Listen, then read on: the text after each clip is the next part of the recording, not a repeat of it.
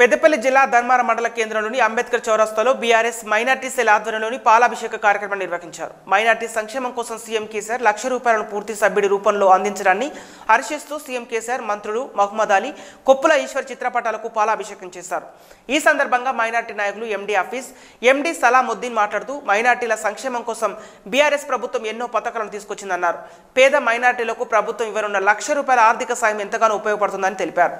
Minority కోసం అనేక సంక్షేమ పథకాలు తీసుకొస్తున్న సీఎం కేసీఆర్కు మంత్రులకు కృతజ్ఞతలు తెలిపారు. సంక్షేమానికి పెద్దపీట వేస్తున్న ప్రభుత్వం దేశంలో తెలంగాణ ఒక్కటే. అన్ని వర్గాల మాదిరి అర్హులైన వారికి లక్ష రూపాయల ఆర్థిక సహాయం ప్రకటించడం చాలా గొప్ప విషయం.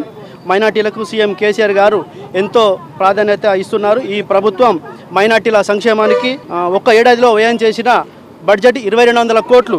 ఇంత గొప్ప పథకానికి శ్రీకారం చుట్టిన ముఖ్యమంత్రి కేసీఆర్ గారికి మా హృదయపూర్వక ధన్యవాదాలు. రూపాయలు అనేది కిరాణం షాప్ కానీ కుట్టు మిషన్లు కానీ మా పేద ముస్లిం చికెన్ సెంటర్లు కానీ తర్వాత పండ్లు అరటి పండ్లు దుకాణాలు పెట్టుకున్న వాళ్ళకి వాళ్ళందరికీ అర్హులైన అందరికీ తప్పకుండా మా ఈశ్వరాన్ని అందజేస్తారని మేము అనుకుంటున్నాం. కేసీఆర్ ప్రభుత్వం వచ్చిన తర్వాత తెలంగాణ రాష్ట్రం ఏర్పడిన తర్వాత ముస్లిం మైనార్టీల కంటే ఒక గుర్తింపు తీసుకొచ్చినటువంటి మహానుభావుడు గొప్ప వ్యక్తి కేసీఆర్ గారు మరి ఉప్పలేశ్వరన్న గారు. అలాంటి మంచి పథకాలు కూడా ఏ ప్రభుత్వం తీసుకురాలే. ఈ ఇమా మౌజన్లకు డబ్బులు ఇస్తూ మాకు షాది ముబారక్ ఇస్తుండు.